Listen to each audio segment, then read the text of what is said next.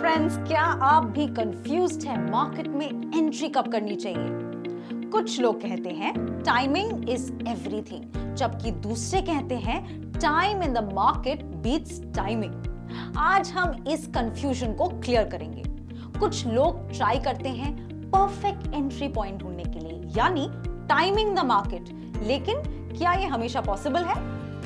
और क्या time in the market एक बढ़िया ऑल्टरनेट नहीं है?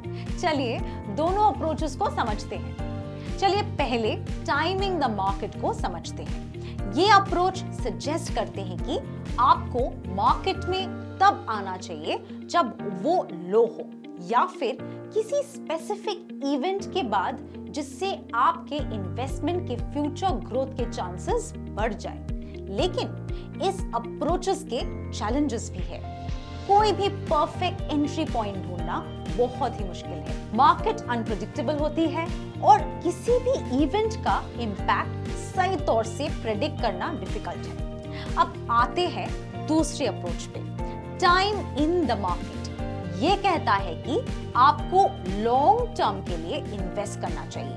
Now market ups and downs तो होते ही रहते हैं। लेकिन अगर आपने एक सही पोर्टफोलियो चूज़ किया है तो ओवर टाइम रिटर्न्स मिलते रहेंगे। तो क्या हमें सिर्फ़ एक चूज़ करना पड़ेगा? क्या कोई मिडिल ग्राउंड नहीं है जिसमें हम थोड़ा सा टाइमिंग भी करें और थोड़ा टाइम भी स्पेंड करें मार्केट में? दोस्तों, यही तो मज़ा है म्यूचुअल फंड्स का। कन्वीनियंस के साथ फ्लेक्सिबिलिटी भी है। Now you can diversify your entry points over time.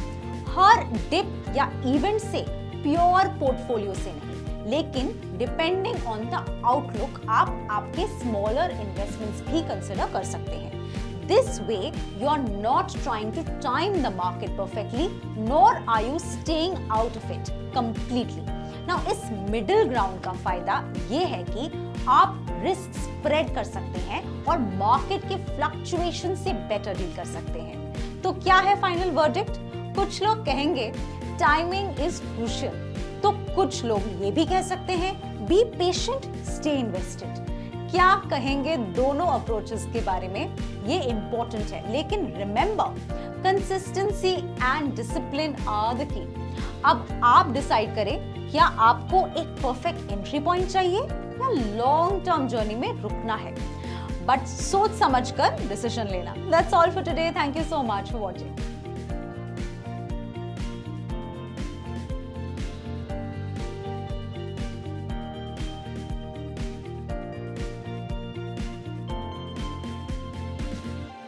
Mutual fund investments are subject to market risks. Read all scheme related documents carefully.